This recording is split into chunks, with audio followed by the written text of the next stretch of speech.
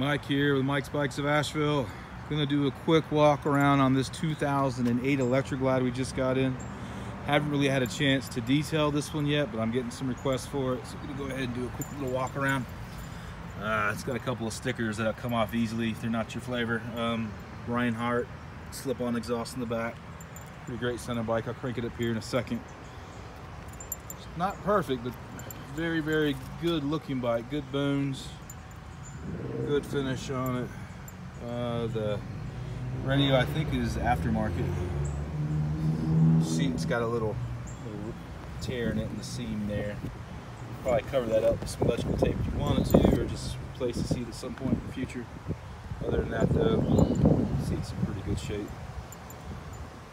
Um, that's the front end. Nothing fabulous here.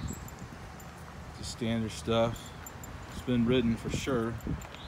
You know, you've got little nicks and scuffs every here and there on the front end.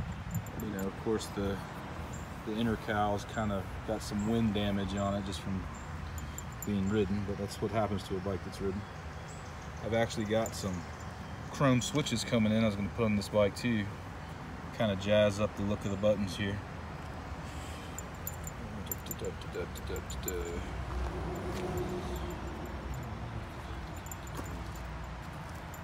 Nice bag on the back.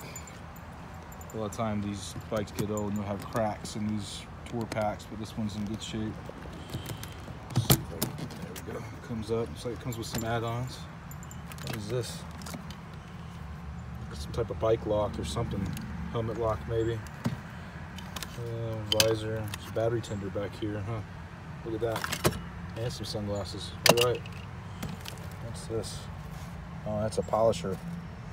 Yeah, so someone kept up with it, it looks like a little bit.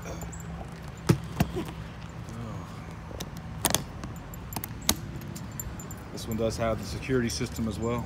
You got a key fob. If you're not familiar, the bike won't start unless this key fob is near it.